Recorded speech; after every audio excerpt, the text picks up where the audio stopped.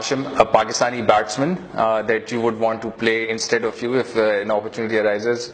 You can't bat, and you. I'll give you two Yeah. options: Yunus Khan and Misbah Haq. Uh, Yunus Khan.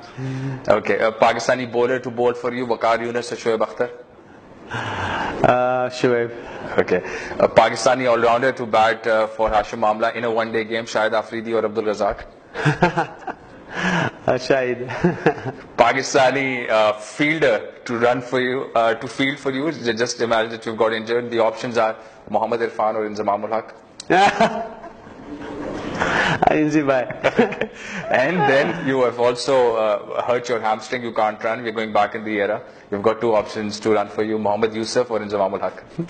Muhammad Yusuf. Your uh, favorite uh, South African player, since you like spend a lot of time with them in the dressing room, somebody who can play the role of the villain of a movie villain perfectly. Oh, Any, any movie villain character that you have in your mind, you can share that.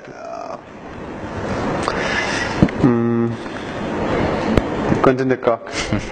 Okay. Any character in mind? Uh, for him, uh, no, no character, man. I Okay. can't think of any, man. No, uh, and uh, the South African dressing room, someone who's perhaps a little untidy, little unhygienic, and people want to stay away from.